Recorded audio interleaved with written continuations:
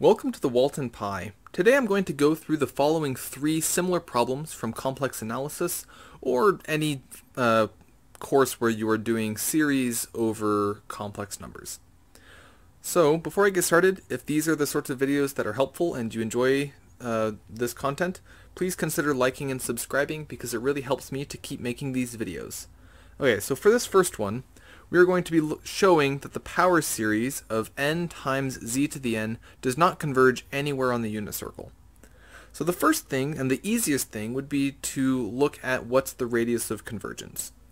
So the radius of convergence, this is going to be 1 divided by the limit as n goes to infinity of our a sub n's raised to the 1 over n, and those should actually be absolute values there.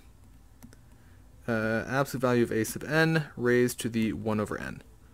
So this is going to be a 1 over the limit as n goes to infinity of n to the 1 over n. Now that limit looks a little bit complicated because that's going to be a 0 to the infinity, but we can be able to rewrite that a little bit using uh, natural logs and L'Hopital's rule, and we can be able to work with that and it turns out that that is going to be 1. So the radius of convergence is equal to 1, so that means that everything inside the unit circle converges, everything outside the unit circle diverges, and we have no idea what's going on on the unit circle. So that's not helping us out at all in this case. So we're going to have to do something else to show that it's not converging anywhere on the unit circle. Alright, But on the unit circle, we know that the size of z is equal to 1. So the modulus of z is 1 on the unit circle. And in order for a series to even have a chance at converging, we need the absolute value of the terms themselves to be going towards 0. But if we look at those terms, where we look at the modulus of n times z to the n, well this is equal to n times modulus of z to the n, this is equal to n, and this is not going to 0. So that means that there is no chance whatsoever for this to converge. So we can say that so the, C, the sum of n z to the n diverges or just fails to converge on the unit circle. So that's how we would go through and do part A. Now for part B, we are trying to show that the sum of z to the n divided by n squared, that that's going to converge everywhere on the unit circle. So the easiest one for this is going to be looking at what the radius of convergence is. So we have z to the n divided by n squared. So again, radius of convergence is going to be 1 divided by the limit as n goes to infinity of the a sub n's, so a 1 over n squared raised to the 1 over n, and again, we could be able to rewrite this limit. It's a little bit ugly. We could rewrite it using natural logs, and then we can be able to use L'Hopital's rule, and we can end up showing that that goes to 0. So we have a 1 over 0 or infinity. So the radius of convergence is going to be infinite. And now because the radius is infinite, that means this converges everywhere. So that means, so the sum must converge everywhere. Whoop, not corn. Converges, not corn converges, on z equals 1, or even just everywhere. So it converges everywhere on the complex numbers. Now this last one is going to actually be the hardest of the lot. So let's go back and look at this one. This one is actually going to need a technique that um, is actually a really cool technique that is worth knowing about because it can get used and is helpful in a bunch of different situations. So for this one, we are looking at the power series of z to the n divided by n, and we are going to show that it converges everywhere on the unit circle except at z equals 1. So again, the first thing we need to do is look at what is the radius of convergence. So the radius of convergence is 1 divided by the limit as n goes to infinity of 1 over n raised to the 1 over n, and that can also be shown to be 1, so this goes to 1 over 1, so that's 1. So the radius of convergence is 1. It converges everywhere inside the unit circle.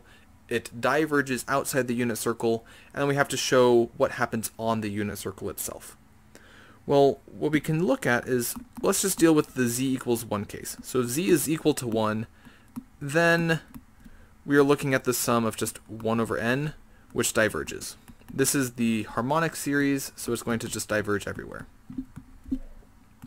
The other case is we are going to look at if z is not 1, but the modulus of z is still 1. If that's the case, then we're going to be able to do something with that.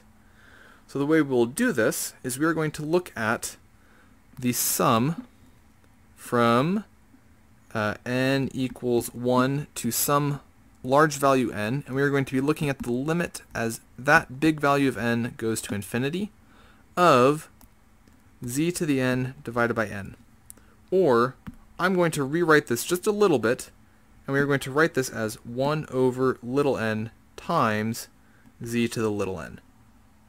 So what we're going to need to do here is use what's called partial summation. So partial summation is going to use the following uh, is follows the following rules. So if we have the sum from n equals m to big N of a sub n b sub n, this is equal to a little a sub big N times big B sub big N minus a sub big M b sub big M minus 1 minus the sum from n equals big M to big N minus 1 of a sub n little n plus 1 minus a sub little n times uh, b sub little n, where b sub little n is equal to the sum from k equals 1 to little n of b sub little k. So we are able to do something with this to be able to rewrite this sum. So let's just go through the different pieces as they come out. So this is going to be equal to, well, we'll still have the limit as big N goes to infinity of the following a sub big N. So here we are going to say that the 1 over n's is our a sub n, and z sub n, z to the n, is going to be b sub n.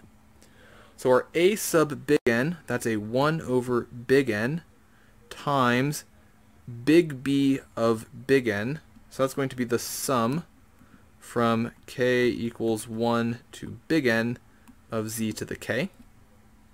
Then we have minus a sub big M, in this case big M is 1, so that's A sub 1, that's just a 1. B sub 0, that's going to be 0. That's nice. And we have minus the sum from n equals 1 to big N minus 1 of a sub n plus 1, so that's a 1 over n plus 1, minus 1 over n, times b sub little n, so that's the sum from k equals 1 to little n, of z to the k. So that's how we would do that. We would write that down using partial summation. So now let's go through and figure out what exactly is that limit. Okay, we need to show that that goes to zero. Okay, we're going to be looking at this to try and figure out what on earth is this going to in order to show that this has to actually converge. So let's go through bit by bit and see what we get. So, we go through each of these different pieces. Let's see what we go through and get. So this first one, that is going to be a 1 over n. Let's rewrite the sum of z to the k's.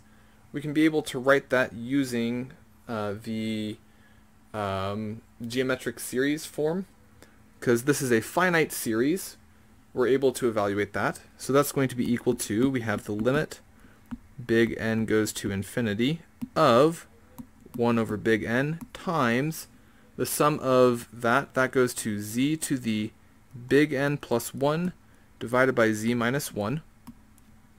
We have minus 0 and then minus the sum from n equals 1 to big N minus 1 of let's see, 1 over n plus 1 minus 1 over n, all of that together, we can be able to rewrite that as a negative 1 over n squared plus n.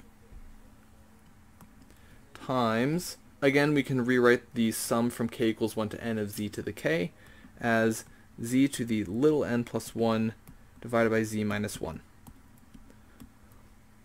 And because we have this negative and a negative, let's just distribute those out. So we have that. Now let's look at each of these different pieces separately. Okay? So this first one, what happens here? Well, this first piece, that's always, well, we can pull the 1 over z minus 1 out from everything. So let's actually just do that first, and then we'll look at the different pieces. So that 1 over z minus 1, that can come out from everything. And we are left with a limit, let's go back to blue, limit as big N goes to infinity of z to the big N plus 1 over N plus the sum from n equals 1 to big N minus 1 of 1 over n squared plus n times z to the n plus 1. And now what we have to do is we have to show that this converges. Well, this first one, this just goes to 0, because the size of z to the n plus 1, that's always 1, and so then dividing that by bigger and bigger values of n, that's going to 0. So this first piece, that just goes to 0. Now this second piece, we have to show that that is convergent. Okay? Now the way we do that is we're going to look at this. This is our new a sub n.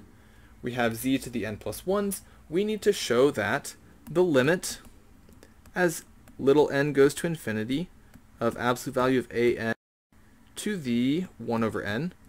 This, remember, this is going to be 1 over the radius of convergence. Well, this is the limit as n goes to infinity of 1 over n squared plus n raised to the 1 over n, which looks very similar to the problem that we did earlier, and in fact this does actually go to 0.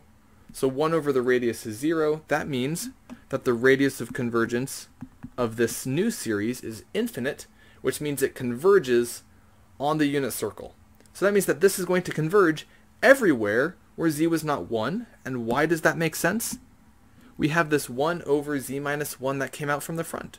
So because that can't have us divide by 0, that means that we have actually finished this problem. So we have been able to successfully show all three of these different pieces. If this video was helpful, please like and subscribe, and please share it with other people who are in your math class who might be struggling with these sorts of things. Um, I enjoy making these videos, and I hope that they are helpful. So if it was, please consider liking and subscribing. I hope you have a great rest of your day, and good luck with all of your math.